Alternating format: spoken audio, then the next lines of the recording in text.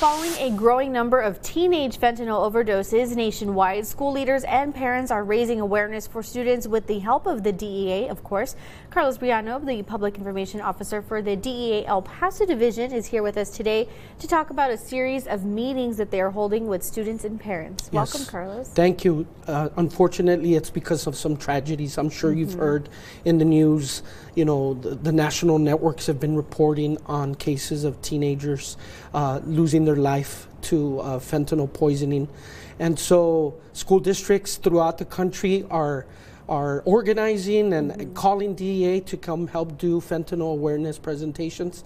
And El Paso, southern New Mexico is no exception. Uh, we're going to be doing a few all month, uh, all the major school districts in our area. And we're here to just let people know if you or a parent are concerned about all the fentanyl that's out there and you want to learn more, you want to bring your kids to listen, uh, these four meetings that we're going to be having in our area are, are a perfect opportunity. What um, what schools are there going to be the, these meetings? Where could people go to learn more about this? So the major school districts have reached out to us to do a one-time meeting for the whole district mm -hmm. instead of one school, which I think is is amazing. That's a, a great way to approach it. Mm -hmm. Instead of one little school, you know, a little bit at a time, let's just bring them all at once. So uh, the first one is going to be Socorro ISD, followed by Ysleta ISD followed by El Paso ISD, and then we're going to conclude the month with Las Cruces Public Schools. And then just why, you know, again, it's so important to teach your kids and parents about this. Why is it so important to go to these meetings? Well, DEA's mission is to maintain our communities healthy and safe.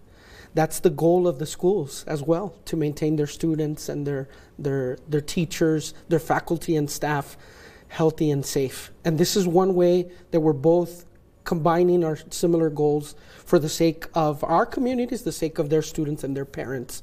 And so we're bringing our resources together. Uh, once they hear what we're going to present, they can ask questions.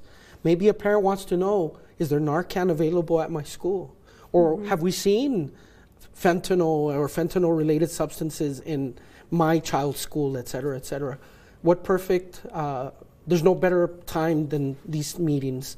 And they've taken uh, time out of their schedule to uh, arrange these meetings, so take advantage. If your child goes to Socorro, Ysleta, El Paso, or Las Cruces schools, reach out to those districts to find out uh, more information about this meeting and when it's going to be and where. So it's one meeting for each school district. We'll right. go ahead and put that information up okay. for you guys. But uh, yes, one per school, right. uh, school district, mm -hmm. and mm-hmm. it's including Socorro, Ysleta, El Paso IC, and of course Las Cruces uh, Public right. Schools. Exactly. And it's going to start February 15th, then February 18th, followed by one on the 21st, and concluding with one on the 28th.